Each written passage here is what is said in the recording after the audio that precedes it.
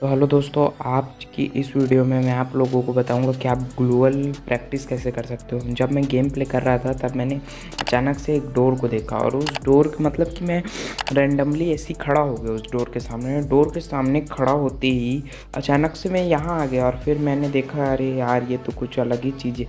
और फिर मैंने देखा कि ये ग्लूअल स्कूल है, यहाँ आप ग्लूअल की प्रैक्टिस कर सकते हो। अगर आप नहीं जानते थे तो आप आपको मैंने बता दिया। अगर आपको ये जानकारी पसंद आई तो वीडियो को लाइक करें एंड अपने दोस्तों के साथ शेयर करें जो ये ट्रिक नहीं जानते हैं, ठीक है? एंड हाँ सब्सक्राइब ज़रूर कर देना।